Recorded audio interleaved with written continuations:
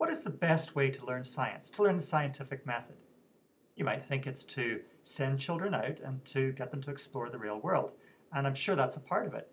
But maybe there's room in conjunction with that to present children with mini mathematical universes that have very simple rules that the child can ask specific questions and can have very small little hypotheses about what's going to happen next and gain curiosity from that experience.